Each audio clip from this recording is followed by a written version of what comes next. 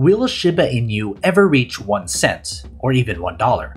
Let's talk about it. Shiba Inu is like Dogecoin, but it's not. It's a hype train ready to leave the station, and if you missed the run up to Dogecoin, Shiba Inu might be the next meme cryptocurrency to skyrocket.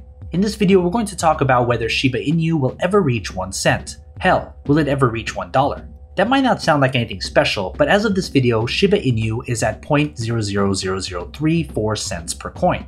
That means if you put $100 into Shiba Inu, you'd have 2.9 million coins. If Shiba Inu were to reach 1 cent, that initial $100 investment would be worth $24,991. Pretty good. If Shiba Inu were to reach $1, you'd have $2.9 million.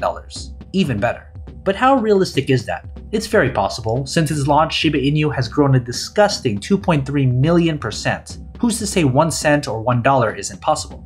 So at this point for Shiba Inu to hit 1 cent, the market cap would need to be 294 times what it is today. It's at $13.4 billion. That means Shiba Inu will need to have a market cap of $3.9 trillion.